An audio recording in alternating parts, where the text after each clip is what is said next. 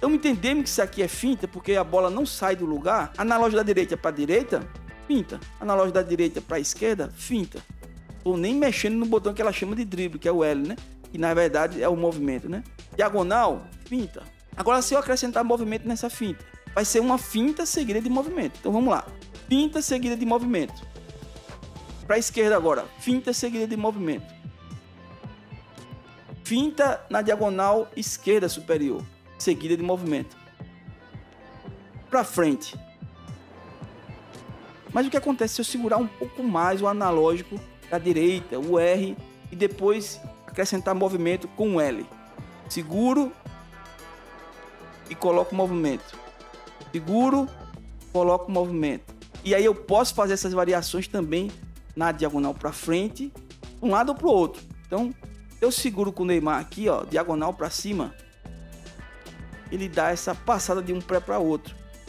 Agora para a esquerda, ele dá uma puxada mais para frente, né? E veja, se eu colocar o analógico da direita na diagonal direita superior e o analógico da esquerda, o L, na esquerda superior, formar um V, os dois analógicos.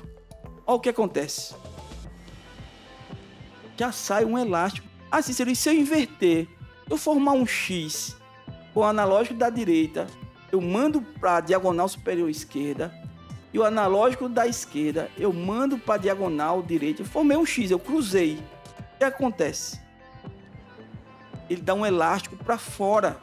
Primeiro eu faço uma finta e depois eu defino com o analógico da esquerda para onde eu vou me movimentar. Então perceba que ele vai começar o movimento para a direita, mas para onde foi o movimento que eu dei? Para a esquerda. Ele termina fazendo o elástico para a esquerda. Vou fazer o inverso agora. Então vejam que só nessas variações de dar um toque, acrescentar movimento a essa jogada, ou segurar e acrescentar movimento nessa jogada, veja as variações de drible que eu tenho, né? E puxadas que eu tenho.